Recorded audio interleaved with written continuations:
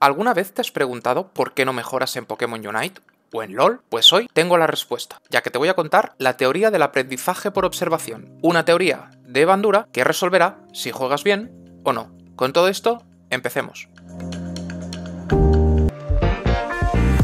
La tesis es la siguiente. Vamos a hacer tres partidas iguales, es decir, con el mismo Pokémon, los mismos objetos, las mismas medallas y los mismos sets de movimientos pero van a ser tres partidas totalmente distintas. Y veremos cómo nuestras acciones hacen que el equipo vaya mejor o vaya peor. Empezamos la primera partida con Cinderace y con el set de movimientos Patada Ígnea y Amago. Y fijaros bien lo que voy a hacer en esta partida. En todo momento voy a marcar la delantera y me voy a intentar concentrar en que ese Decidueye pueda hacer su mejor partida. Daros cuenta que si mantienes la ofensiva el compañero que tienes al lado también la mantiene. Por contra, veremos más adelante que si nos echamos para atrás, los compañeros se van a echar para atrás. ¿Por qué ocurre esto en la mayoría de ocasiones?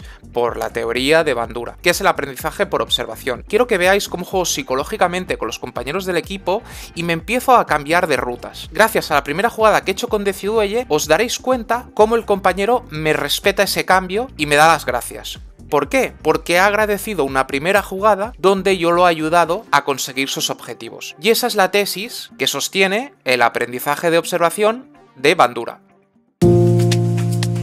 conforme avanzamos en la partida os vais a dar cuenta que yo intento apretar lo máximo posible, es decir, presionar lo máximo posible las bases enemigas. Y os daréis cuenta que Decidueye, mi compañero, también lo está haciendo. Y todos parece que vamos más cohesionados para lograr ciertos objetivos. Daros cuenta que hay ciertas personas en el equipo que tienen cierta tirria a ir hacia adelante y ¿qué pasa? Que nos piden que nos retiremos. ¿Por qué? Por lo mismo. Si todo el equipo se plantea ir hacia adelante, el equipo irá hacia adelante. Pero si hay división de opiniones en el equipo, normalmente siempre va a priorizar la opción defensiva, nunca la ofensiva. Es decir, a cualquier decisión que nosotros tomemos, siempre vamos a tomar la que es más segura. ¿Y cuál es la más segura? Pues volver a nuestras bases. Por eso os digo que si jugáis Rankeds en Pokémon Unite, tenéis que ser conscientes de cómo vuestro comportamiento afecta al equipo, ya que tenéis asegurado que de vuestros cuatro compañeros, mínimo tres, jueguen como el culo, por tanto es importante que tú sepas apoyar para que los compañeros que digamos están en terreno de nadie puedan jugar mejor y puedas salvar las partidas. Si os fijáis, en todas las partidas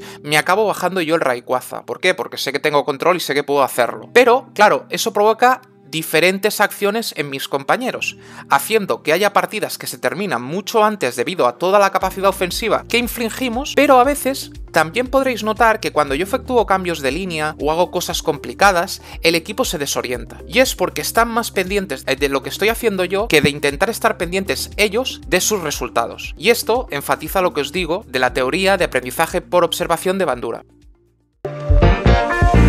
Por tanto, con todo esto vamos a elegir unas conclusiones. Las tres partidas han resultado ser victorias, y las tres partidas han acabado antes de tiempo. La única diferencia que yo he hecho entre partida y partida es cambiar los objetivos. He sido más directo con una línea, o por contra lo que he hecho es jugar por libre, provocando que mis compañeros tengan ciertos momentos de duda. Pero si os fijáis, cuando yo tomo la ofensiva y además utilizo los comandos de texto y digo, gracias a por ellos, os daréis cuenta de que mi equipo me acompaña. Entonces, si queréis jugar bien en Pokémon Unite, os voy a dar un consejo. Si enfocáis la partida en positivo, siempre intentando apoyar a esos compañeros que a lo mejor les cuesta un poquito entrar más en la partida, y les ayudáis, os daréis cuenta que a no ser que os toque alguien que no quiere jugar la partida, ya sabemos cómo es Pokémon Unite, pero el equipo siempre va a responder asertivamente seguramente. Por tanto, para concluir, si quieres jugar mejor tus partidas o si no mejoras, plantéate la siguiente duda. ¿Estás haciendo todo lo posible para que tu equipo mejore? Y es más,